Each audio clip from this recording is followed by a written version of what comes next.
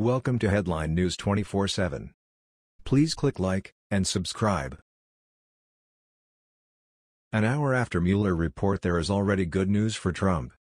The Mueller investigation has finally been completed and the early indications are that it is good for President Donald Trump.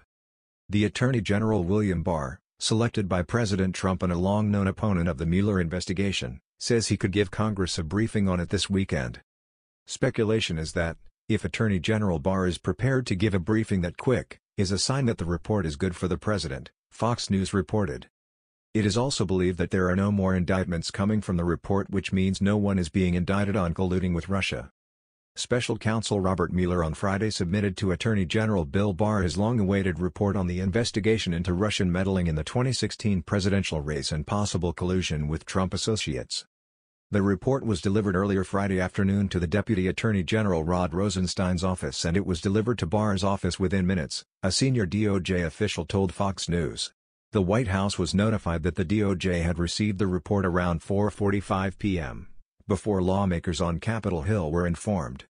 Both Barr and Rosenstein have seen the report, according to a senior DOJ official. White House Press Secretary Sarah Sanders tweeted following the report's drop. The next steps are up to Attorney General Barr, and we look forward to the process taking its course, Sanders said. The White House has not received or been briefed on the special counsel's report, she said in her statement on Twitter. Special counsel Robert S. Mueller III has concluded his investigation of the Russian interference in the 2016 election and related matters, the letter said.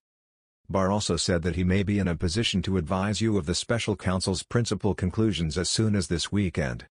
Separately, I intend to consult with Deputy Attorney General Rod Rosenstein and Special Counsel Mueller to determine what other information from the report can be released to Congress and the public consistent with law, including the Special Counsel regulations, and the Department's long-standing practices and policies, it continued.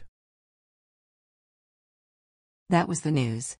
We thought you might be interested in knowing about this. Please click like and subscribe. Thank you.